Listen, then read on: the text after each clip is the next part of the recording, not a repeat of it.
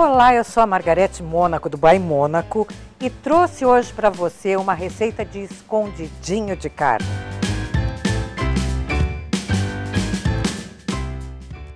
Essa receita é muito fácil e não tem mistério nenhum, apesar de ser um escondidinho.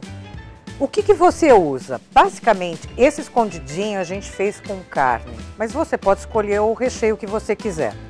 Para essa receita, nós utilizamos 500 gramas de carne moída, de 5 a 6 batatas médias, você escolhe, 3 colheres de sopa de creme cheese, azeitona, um tomate sem pele e sem semente, meia cebola, um dente de alho picado, meia pimenta dedo de moça, dependendo da sua tolerância com pimenta, duas colheres de manteiga, meio copo de creme de leite fresco, meio copo de leite, azeite, sal, pimenta branca, cheiro verde a gosto, queijo parmesão ralado à vontade e 200 gramas de batata palha para finalizar e para você decorar o prato. Vamos começar fazendo purê de batata.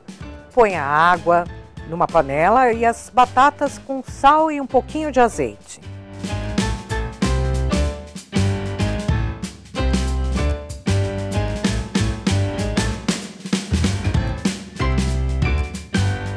Espreme e deixe reservado purê.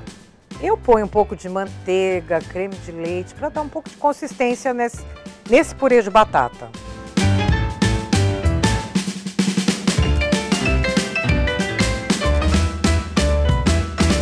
Vamos fritar a carne para ela ficar sequinha.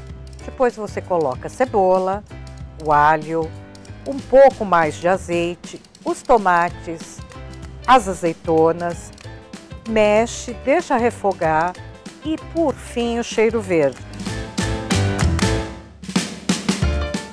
Depois desses recheios prontos, chegou a hora da montagem do escondidinho. Para montar, você começa fazendo uma caminha com o purê de batata.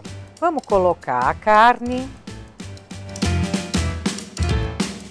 pedacinhos de creme cheese espalhados por essa carne, Cobrimos de novo com o purê de batata e para finalizar, queijo parmesão ralado à vontade.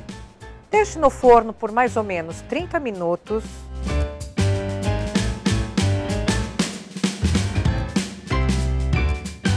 E na hora de servir, ponha umas batatas palhas por cima, que vai ficar crocante e delicioso o seu prato.